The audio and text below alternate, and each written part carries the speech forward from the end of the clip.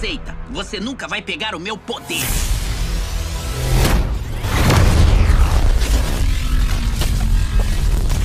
Parece que eu preciso do seu poder.